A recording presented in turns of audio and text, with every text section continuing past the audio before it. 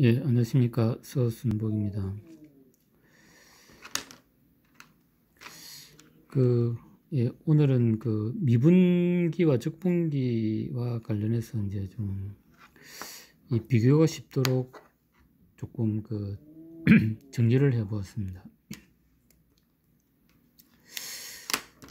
그 일단 이제 저 적분기 이제 같은 경우는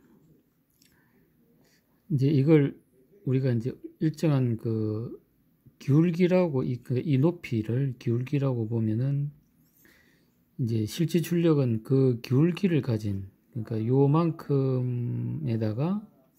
그 다음에 그 RC의 어떤 비관계를 곱한 이제 기울기를 가진 실제 파형이 이제, 이제 출, 출력된다. 이렇게 우리가 좀 이해를 할 수가 있을 것 같습니다. 이제 반대로 그 미분기 같은 경우는 이제 이러한 기울기를 가진 기울기를 가진 파형이 이제 입력이 되면 그 기울기의 기하고 이제 RC 그 이제 B와 이제 B를 감안한 그 실제 기울기 요, 요 기울기 자체가 이제 출력되는 그런 걸로 좀 우리가 이해를 그 할 수 있는 것 같습니다. 그래 그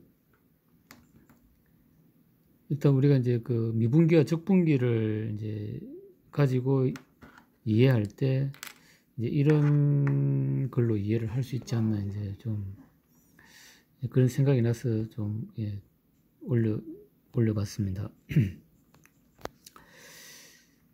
예, 말 그대로 이제 이제 이게 적분이죠. 이제 어떤 기울기 값을 어떤 이제 값이 이제 입력이 되면 실제로 그 기울기를 가진 이제 그게 이제 출력이 되고 그러니까 이게 어찌 보면 우리가 이제 그 이제 적분의 어떤 이제 수학적인 개념하고 이제 일치하는 거죠.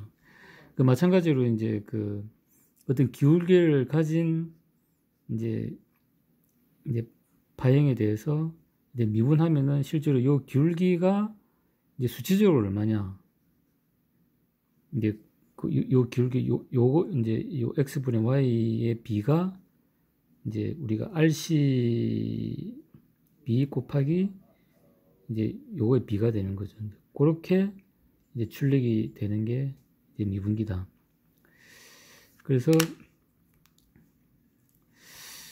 이제 그런 식으로 좀 정리를 할 수가 있는 것 같습니다. 그래서 이제 우리가 요 미분 회로의 이제 출력을 보면은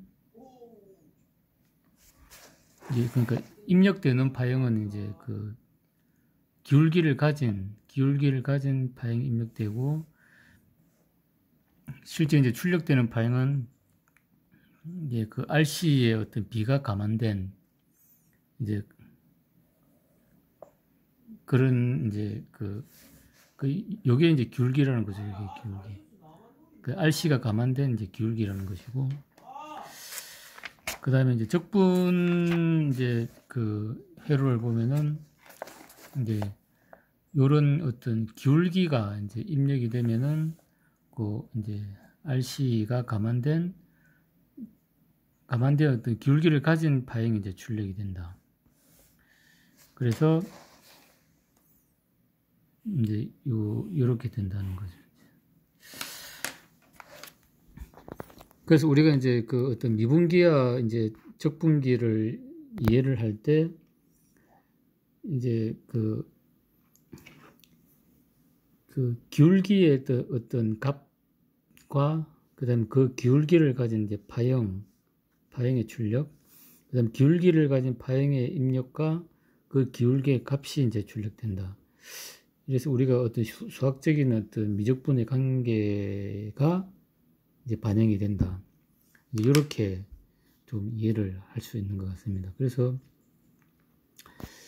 조금 이제 이 비교가 되면 우리가 이제 좀 원리적으로 이해를 하기 쉽기 때문에 좀 공부를 좀 해봤습니다. 예, 이상 감사합니다.